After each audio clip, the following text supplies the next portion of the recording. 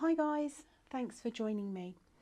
This little sort of tutorial slash how to is for our birdie masks. And what I'm going to do in this tutorial is I'm not going to necessarily take you through each step of creating the actual bird because there is a video on our channel which is called the round robin and that's using exactly the same template. So I'll pop a little link somewhere for that video and then you can refer to that to actually filling the basic template. So what we're going to focus on in this tutorial are the actual masks themselves.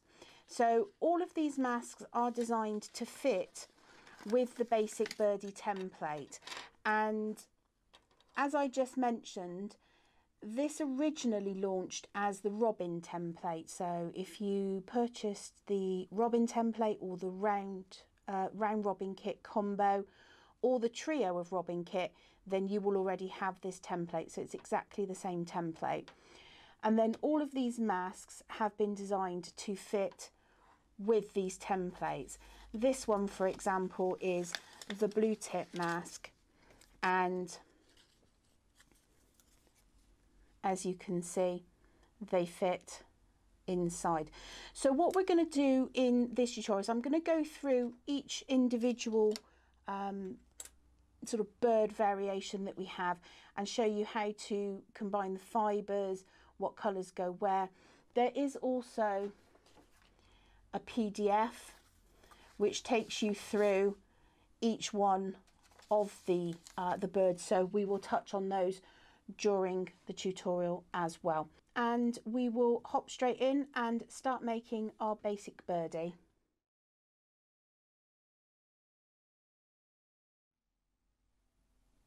So this is the fourth and uh, final birdie that we're going to be making, which is the bullfinch.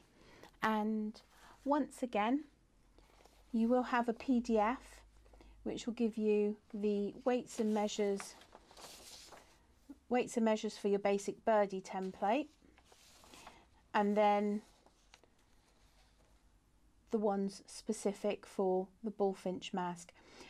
I opted to do the base layer in sort of a, either a white or an off-white and then you've got your accent colours which are black, white and storm and then we, we have a breast colour which is this colour and that's a, a sort of a hand blend that we're going to do as well. So refer to your, um, you know, as with the other birdies, just refer to your uh, PDF for uh, which colour goes where. So I'm going to start with an off-white base. So again, for filling in the basic birdie template, refer to the round of robins uh, tutorial and that'll tell you um, how to fill this template so I'm not doubling up on the information and dragging the tutorial out too long. So pop your mask, once you've got your base layer, pop your mask on your base layer and then to your PDF we've got black here, we've got that hand blend, white, storm and then black on the tail again. So black, the storm goes in here, the white goes in here, that lovely hand blended red goes in this section. And then we've got black again at the front. So I'm going to start this side and work my way across. And to do that, I'm going to start with just a little bit of black, draft off, roll it up just loosely, get my lightest needle. Now these sections are quite big, so what I'm going to do is we're not looking to fill these, I'm just looking to give myself a really nice edge down on this, this sort of side. So I'm going to anchor anchor my wall just there. I'm going to leave this little frizzy bit because there's a bit of a gap and I'm going to need that to go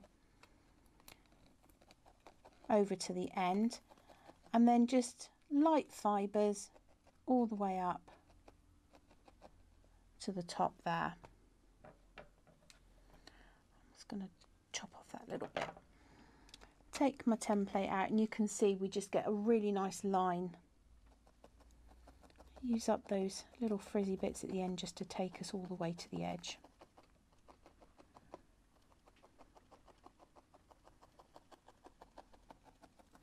There we go. So that's the first line in. The next bit I'm going to grab is Storm. And again, just a light roll. And I'm going to be using this edge to follow. So again, up at the top, give myself a little bit of an anchor and then just follow that edge round. I'm Going to need a tiny little bit more.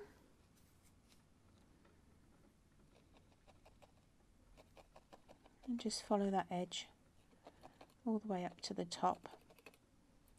And all we're doing right here is just putting down those lines so we can see where we need to colour in. So again, I'm just going to use that end frizz just to go up to the edge.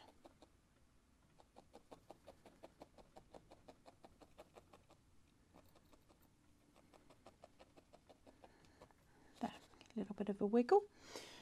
So there, now we've got a black tail. So I'm going to grab a little bit of black and I'm going to come off of the grey and just go round.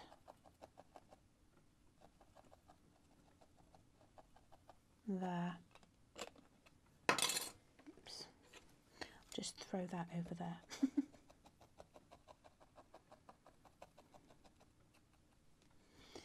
there we go.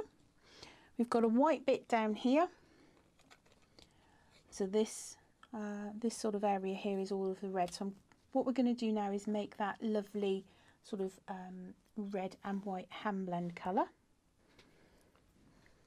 What I have done for this is I have weighed myself out 0.5 grams and 0.5 grams of each colour. And to make a hand blend, you can use carders um, or you can um, you can use sort of dog brushes. I'll show you the hand blend.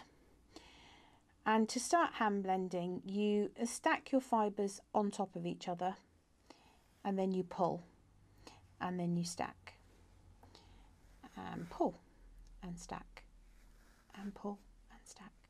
And you just keep going. Turn it through 90 degrees, pull, stack, pull, stack.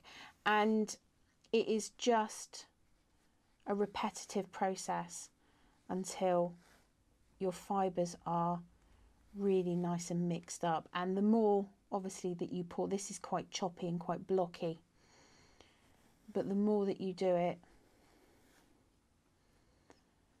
the more the fibres will blend and spread and you will end up with this really nice sort of um, well red and white mixed.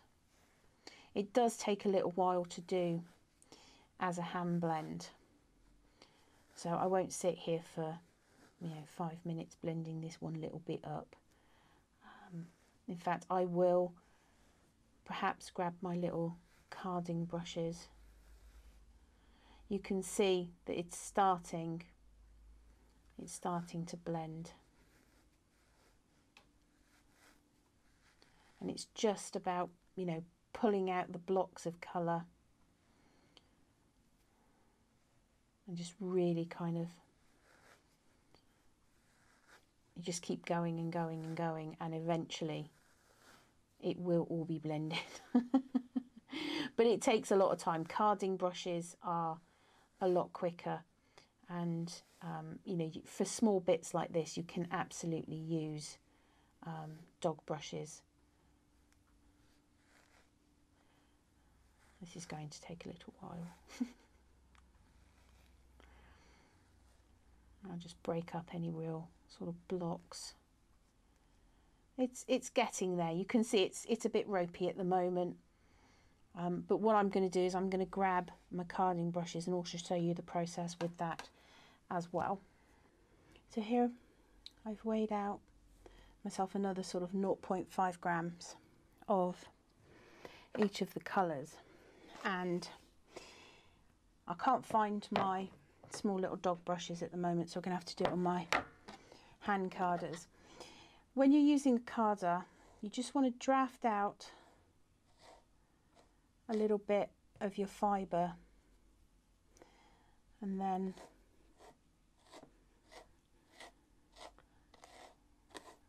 a little bit of the white then go back to a little bit of the red and yeah we're just gonna mix it up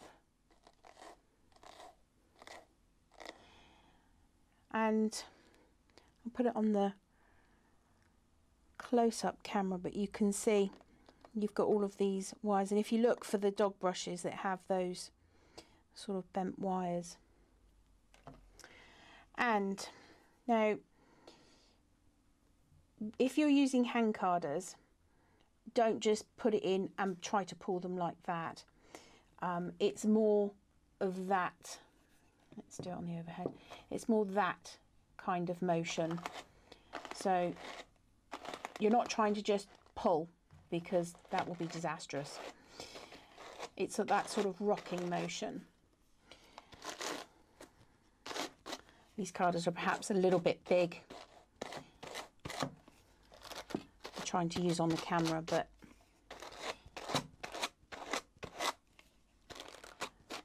you can see it's already mixing it up very very quickly.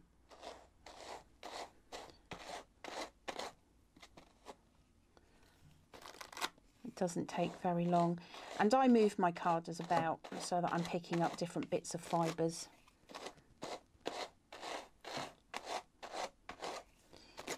And you can see that you know just after a couple of passes with the carder compared to the hand sort of blending and for small bits like this, um, to be honest, little dog brushes are absolutely great. I think mine are packed somewhere for a show that I'm getting ready for, so I don't know where they are at the moment. But that, if you can have a look on the close-up cam now, that's about what we want. A nice, a nice mix of those colours there. And you can see there's the hand blended one. You can absolutely get it to this point, it just takes an awful lot of hand blending. So now we've got our nice colour. I'm going to draft off a little bit of it that's all we really need. And we're just going to put in this final line down here. So again a loose a loose sort of roll between the fingers. And a light needle.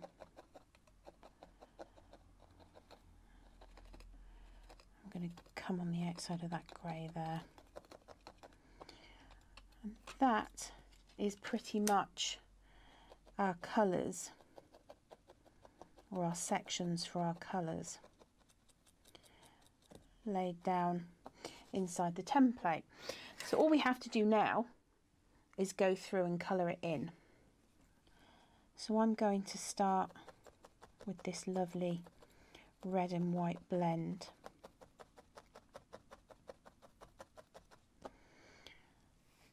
Small pinches we don't want too much.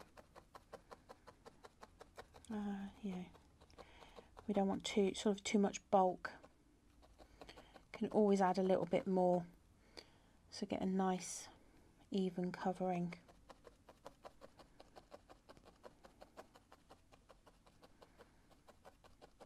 Yeah and you can if you put down just a thin covering you will still see some of this base colour coming through as well This is entirely, um, you know, your choice as to how opaque you make your colouring. There we go. Again, I'm doing this full speed.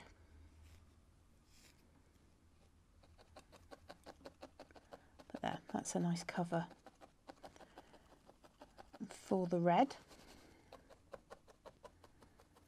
What I'm going to do now is bring in my multi-punch and just bounce, not driving through the project. And all that's doing is that's just compacting these fibres and felting them down. I mean, if you're doing a single-sided project, you absolutely can, you know, give it a bit of welly. But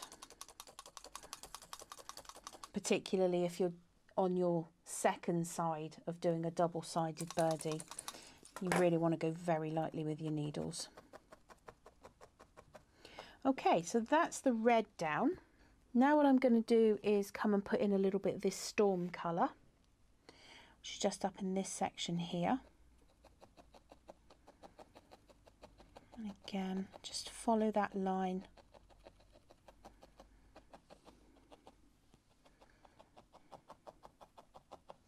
That's perhaps a little bit much. Let me pull some of that off.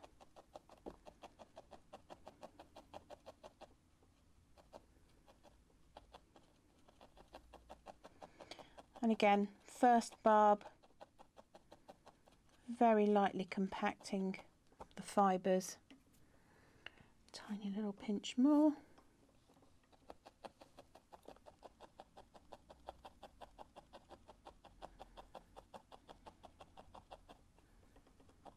Just want to make sure that you've got some nice edges. Again, bounce, bounce, bounce.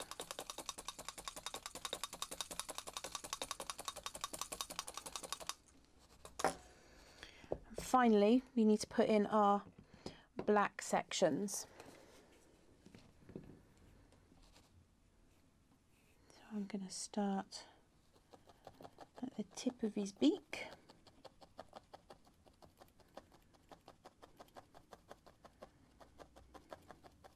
Uh, and then work over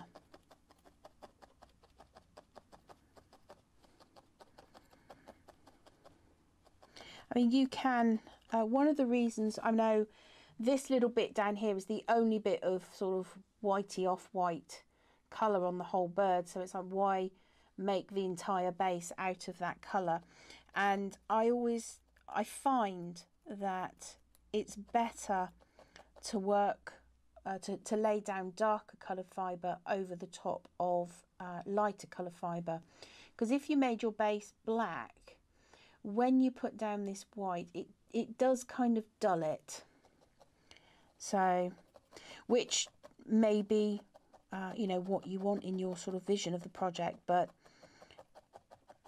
generally I find that I work better um, light base and then put darker colours down over the top. So almost done this bit now. run round with my needle and again just making sure that we stay in those lines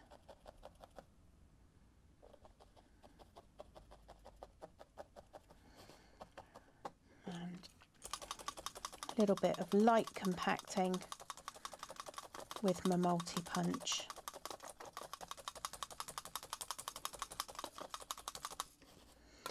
And then finally, to the tip of his tail.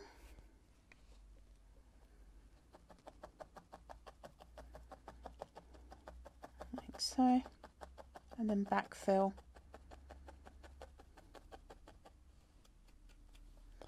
To that grey. And then around.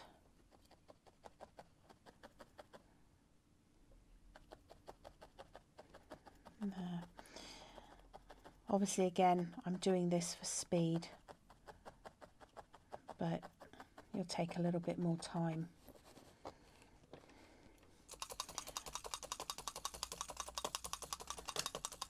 So,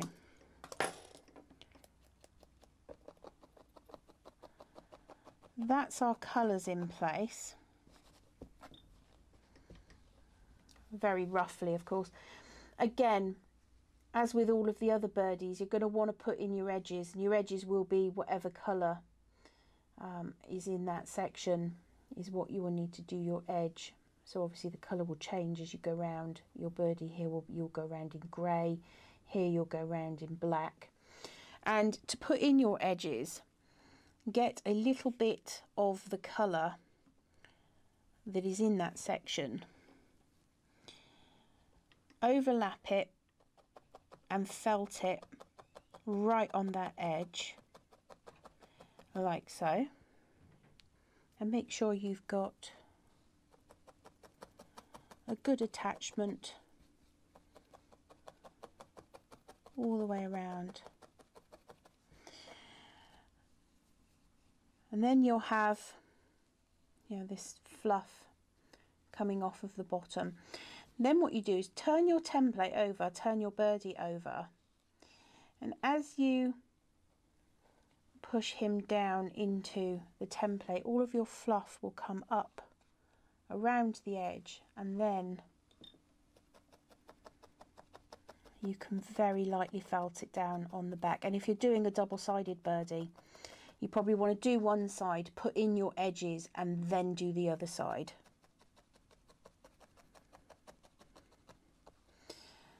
But there now you can see that we've got a nice wrap of colour around.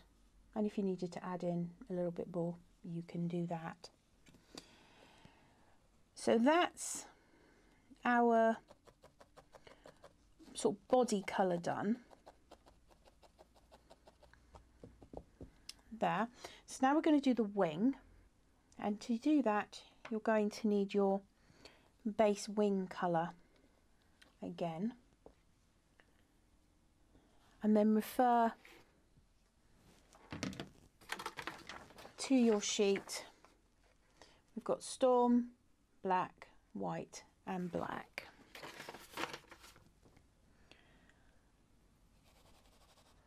Right, so grab your little wing mask and pop him in and you can see it's just very easy sections.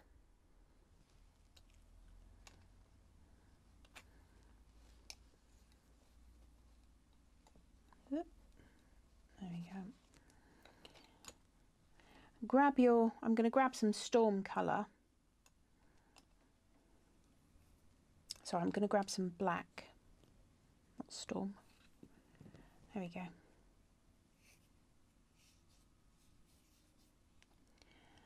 And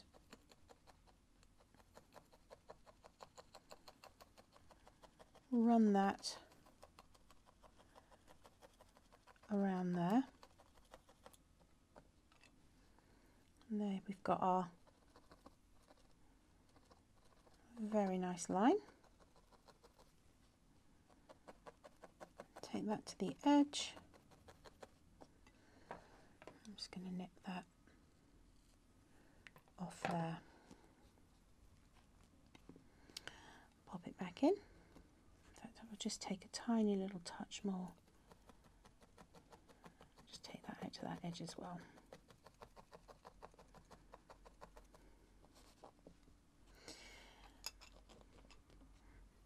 Then I'm going to grab another little bit of black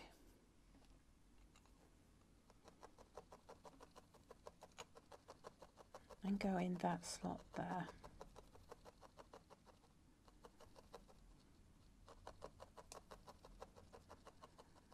And again, that gives us those two very nice lines. Apologies for the camera change there. The postman knocked at the door. so, okay, so we've I've put in my two um, my two black black lines there. So this section here is uh, white. We've got black here and we've got black here. Now, you may notice that there is no line up here, and there was a very good reason for that and that was that we decided to put the the um, storm bit on the top after we made the templates. so this is an optional extra. but I'm going to show you how you can do that really easily with the temp with the mask that you have. So if you are doing a double-sided birdie, you're going to make to you're going to want to make both of these wings um, at the same time. And remember, if you're doing a double-sided birdie, you want one wing right side this way and one wing right side that way. So to do that last little bit at the top, what you're going to do is you're going to use this part or this curve of the mask. So what you do is you take one wing, you line up that bit of the mask with that bit of the black and then just decide where or how far down. Um, grab yourself a little bit of storm and you can go, well, I'm, I want the storm uh, sort of section to sort of come round here and curve up round to there. So I'm going to put that little bit of fluff there as just a little mark. And then what you do is you take your mask, you put that bit on the black there, and then you put that bit on your dot there. Then grab yourself a bit of storm, roly roly, and holding your mask in place, felt down your line and you can see now that that just simply gives you your little section. Now, because if you're doing the two, you're going to want them in the same place. This point we know is fixed, but this is the variable point that you decide when you put in. So when you have another wing, what you do is you pop, let me grab, uh, let's see, I don't have any spare wings. Oh no. Okay, we'll pretend that this one is another wing.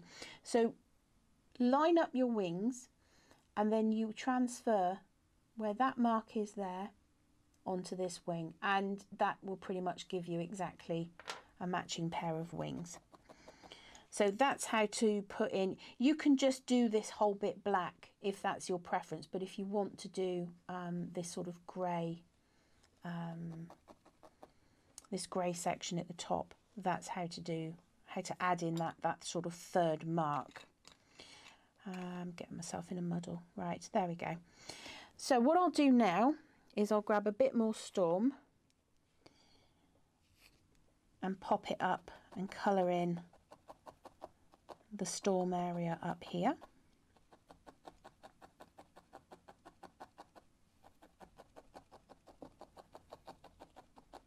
There. And again, obviously, once you've got all of your colours in, you're going to want to go round and do those edges exactly the same um, as um, as we did on the body. Let's put some fibres in and go around and do the black. And, you know, don't be limited you know, to just, you know, these birds. There are um, other birds that people have done as well. Have a look in our Facebook group, uh, which is facebook.com slash groups slash mums makery and you know there's there's all different kinds of birds coming through on posts and you know people sort of sharing their makes so I'm almost done with this bit now.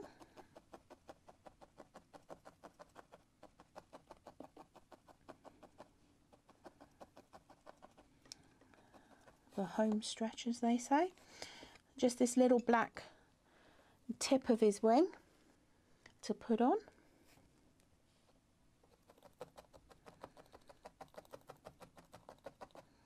And when you're doing your bases for any of these birds, um, don't think that you have to felt them super crisp. Um, you know, you don't. As you're going to be adding in colours and stuff, you want it to be a little looser. So I will declare that done for now. And you'll tidy up these fibres so that you don't have sort of, you know, stray black hairs or whatever over your nice white felts. There we go. And grab my multi-punch and do that bouncing technique. That'll really sort of flatten it down, help really sort of bring those colours together.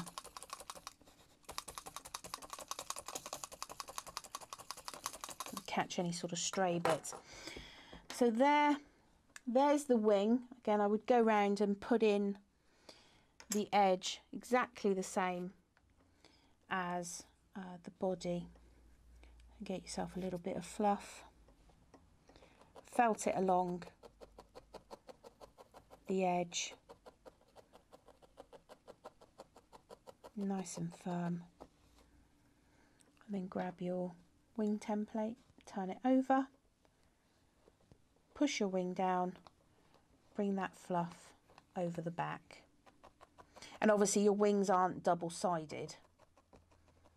Um, although I have seen uh, some people make uh, mini birds from the wing template. So they've used the wing as the, the sort of body shape. So if you want to make a, a mini bird, and there you can see that you've got that nice sort of wrap over of colour. And again, refer to the um, uh, refer to the round robin tutorial for sort of making these. So this guy just needs his eye, I've noticed. And the eye on here, um, there's not sort of a, it's a bit of a personal preference. So what you can do is you can, I generally do the eye about half halfway um, in between. And you can mark on your template, for example, um, just give yourself a little, I don't know, a little mark of some kind, uh, maybe a little pen or something like that. And you know, you can give yourself a little eye mark. So you you can sort of expand on what these templates are doing for you to customize them even further, you know, for your personal preference. But to make an eye, uh, what I will do is first off I'm going to decide where my eyeball is going to go. And you don't uh, you don't have to felt um, an eye. You can actually use one of those um, really nice sort of black teddy bear eyes. And I would say that this is probably maybe about six or eight mil uh, in diameter. So but eyeball. Get some black and you don't need much but again it's not weighable. It's a very small amount maybe 0.05 um, maybe less. But you want to roll yourself a little ball. And if you find that you know that's too big then pull some fibres off and re-roll it. But you pop him back down in there for a second and carry on rolling your eyeball. And I put it about halfway so it's just just above middle of the beak.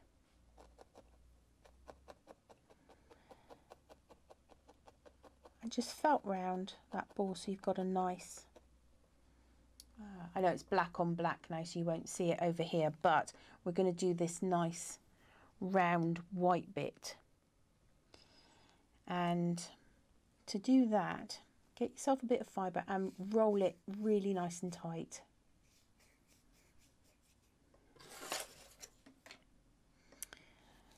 And then you're going to anchor it down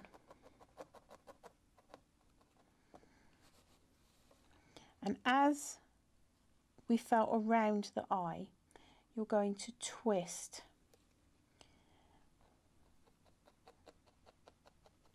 and that twisting will give you a really nice sharp line. Don't over twist because if you over twist you see what happens. So just a nice light twist and then a few stabs round. Nice light twist. And you can see it does give you that really, really nice line.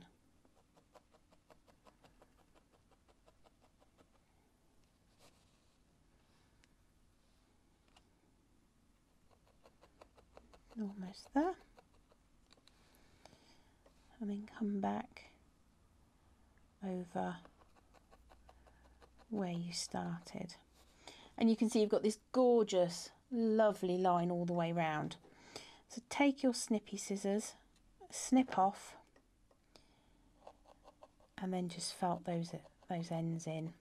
First barb really light. There you can see you've got lovely nice circular eye now. And the last little thing to do is a tiny little light dot in his eye. And it's literally a few hairs. Give yourself a little bit of a roll. You can see it's tiny, teeny tiny, little tuft. And just using a few barbs when you start felting it down, a lot of the wool will disappear into the eye. So you do need it slightly bigger um, than the end sort of light dot that you need. But there, there's his little light dot. I'm going to be going round after and tidying up all of my edges, but there we go. And then you bring in your wing, pop on your wing and attach that all the way round. I sort of attach this part and leave this a little freer. You can puff it up a little bit and attach it. You can stuff a little bit of extra wool in there to make it a little bit more puffy. You can build up his belly, take you know these sort of colours underneath and sort of give him a little bit more of a belly. There's so many things and so many ways that you can go with this guy. And you know, here we've gone a little bit more freehand. Um, this is a single-sided birdie, so, you know, we've just taken a little bit of artistic license.